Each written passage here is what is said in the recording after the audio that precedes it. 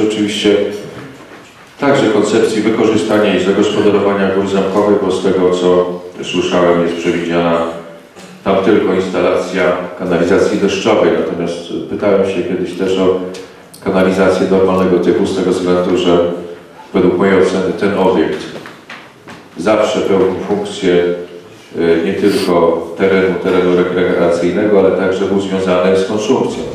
Tak było 100 lat temu, tak było w okresie międzywojennym i tak było też w okresie powojennym, kiedy funkcjonowała, funkcjonowała tam kawiarnia, gastronomia, no, można to różnie nazwać. I mam pytanie, czy przewidujecie Państwo też takie funkcje dla tego terenu, dla Góry Zamkowej, czy będzie wybudowany tam obiekt typu kawiarni?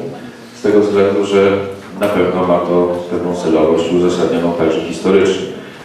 Pan Tomasz Tomaszewski, pan radny spytał się, czy mamy dalsze plany. Na dzień dzisiejszy związane z Górą Zamkową, czy na przykład fontanna, to się wiąże również częściowo z zapytaniem pana radnego Kosińskiego. Tam osoby, które troszkę dłużej żyją, ja na pewno i pan radny Kosiński też pamięta, tam była e, kawiarnia na rogu, tam były jeszcze inne sprawy. Nie, w tym projekcie takich, e, takiego zakresu nie mamy. E, Mamy dokładnie to, co przeczytałem Państwu i to, co informujemy od długiego czasu, nieustannie o tym informujemy, jaki jest zakres prac na Górze Zamkowej.